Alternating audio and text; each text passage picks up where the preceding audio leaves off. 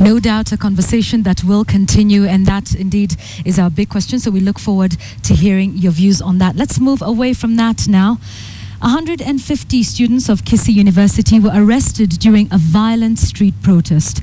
The students were opposing the increase in teaching practice fees, demanding a reduction. Students of Kisii University took to the streets demanding a reduction of what they termed as teaching practice fees by the university management. But the demonstrations turned chaotic. When is started destruction of property within the campus, this attracted the intervention of the police. So the police are running battles with the students. Several students and a police officer were injured in the incident as students engaged police in running battles inside the institution. 150 students were arrested and arraigned in court. They have been arraigned before court for taking part in a riot.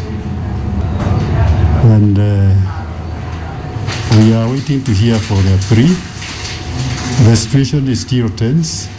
Anti-riot police did not only deal with those on the streets, the officers raided the hostels where several other students were hiding and flushed them out.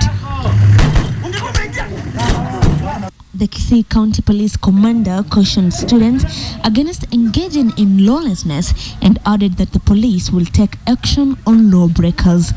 Calm has since been restored at the university and there is a heavy police presence. Angel Katusia, KTN.